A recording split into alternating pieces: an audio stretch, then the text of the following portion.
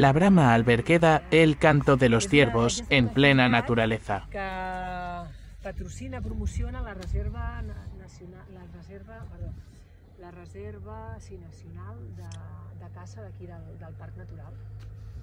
Eh, llavors, eh, bueno, és gratuïta, és, és oberta a tothom qui vulgui i la fem des de mitjans de setembre, vam començar, fins, a, fins ara, fins al proper cap de setmana, que serà l'últim, ja que no sabem quan acabaran de, de bramar, però quan acabin, acaben de cop i ja no...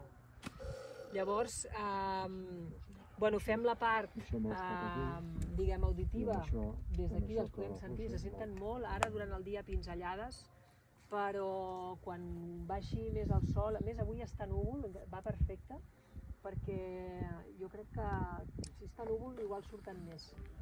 Uh, si fa molta calor, la setmana passada va costar molt de veure'ls el cap de setmana a la tarda a aquesta hora perquè feia moltíssima calor. I ahir va costar una mica. Esperem avui a veure si, si surten. Eh, llavors, sentiu, eh? Sí, sí, sí. Llavors fem la part auditiva amb la part visual amb, amb prismàtics i telescopis. Val? Uh, mirem per aquí perquè normalment sempre se'n veuen. Val? Uh, en aquest costat, a l'altra banda, mm, hi ha molt bosc i també n'hi ha, eh? però costa de veure. No hi ha, no hi ha massa, massa prats gairebé i, no, i llavors sempre mirem cap aquí.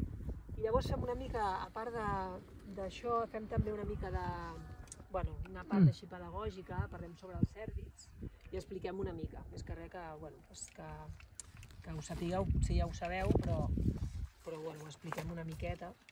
I mm, llavors, mireu, això és la, la corna de cèrvol, la podeu anar passant si voleu, per, veieu que és, que és dura.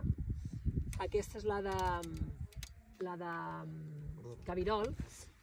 Esa és la, el cuerno de ciervo, Ja l'entenc en català, eh? Sí, ho entens sí, bé? Ja estic, sí, sí. vale. I, I això, aquesta és la del cabirol. Llavors, dels cèrvids que tenim aquí a Catalunya... Tinc, un, en tinc dos o tres a casa. Sí, eh? Sí, trobats. Molt bé, molt bé. Si, si no els portes, doncs els vas a buscar i ja està. Bueno, A vegades difícil trobar-los, és eh? difícil, eh, trobar-los, Sí, per sí, això. sí. Perquè, No clar, això ho fan, ho fan amb... Quant de temps diríeu que ho fan, això? Un any. La corna. Cada any els Cada any, cau. tu. Sí. Ho fan entre 3 i 5 mesos. Ho fan. Llavors, eh, els hi surt com una espècie de, bueno, de vellut que va creixent és un, i llavors allò té un rec sanguini que llavors per això creix tan ràpid i se'ls hi forma tan ràpid. Llavors, quan ja està formada, se'ls ossidifica, utilitzen la calç dels seus ossos i llavors ho ossidifiquen i els hi cau aquesta capa de vellut. Eh, Quan la perden? la perden doncs, abans de finals d'estiu o finals d'agost o així, o sigui, a la brama ja, ja ho han de tenir ja... Mitjans de setembre ja ho tenen ja, ja format, ja els hi ha caigut, sí. Sí, sí. O sigui, ara no tenen bany, en teoria. Sí, sí, ara, ten, ara la tenen. Ah, la tenen a tope. O sigui, la perden al final. no, encara en té a l'època de- d'aparellament, eh, que, és, que és ara. Eh, llavors, això que dèiem, que costen de trobar, perquè s'ho mengen, poden menjar-s'ho perquè és una font de, de calci i a vegades ho podem trobar rosegat, ho podem trobar mig menjat i així. Eh, llavors només en tenen els mascles, les femelles no. Uh, només hi ha un tipus de cèrvid, que aquí no el tenim, que és el ren, que és el que, el que tenen mascles i femelles. Eh, i el, i el cabirol uns 50, 50, 60 quilos. Val? És, el, és el cèrvid més petit, són els que tenim aquí a Catalunya.